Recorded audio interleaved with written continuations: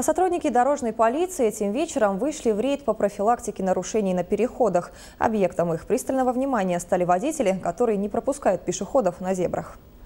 Временное дежурство экипажа ДПС у здания Новгородского областного телевидения – часть специализированного мероприятия «Пешеход». Сотрудники ГИБДД контролируют соблюдение правил как со стороны водителей, так и со стороны пешеходов. С участием последних за прошлый год произошло 97 аварий, 63 из них по вине автомобилистов. Четыре пешехода погибли, еще 30 получили травмы. Удивительно, но даже когда на обочине стоят дорожные полицейские в погонах и ярких жилетах, две телекамеры и корреспонденты с микрофонами, водители умудряются нарушить это банальное, но жизненно важное правило – пропускать пешеходов на зебре. Здравствуйте, вы не заметили пешехода? Не заметил, темно. Дорожные полицейские подчеркивают, если вам на пути тоже попался нарушитель, а экипажа ДПС поблизости нет, водителя можно привлечь к ответственности.